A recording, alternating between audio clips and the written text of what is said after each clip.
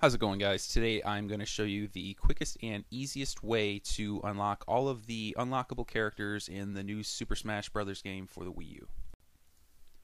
Okay guys, you're just going to want to go to uh, Smash Mode and then change the rules. Uh, make sure you set it to stock and change the amount to 1 and then we'll go on to the next step.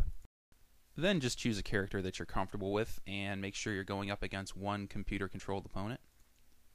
Going into the match itself, as soon as the match starts, just go off the nearest edge, press down to end that, and as you see, that will end that.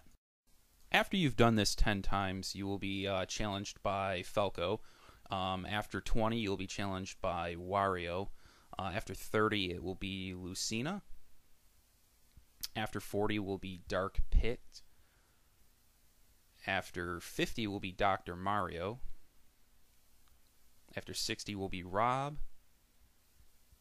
After 80, you'll get challenged by Mr. Game & Watch. And last but not least, at 100, you will be able to get the Duck Hunt dog.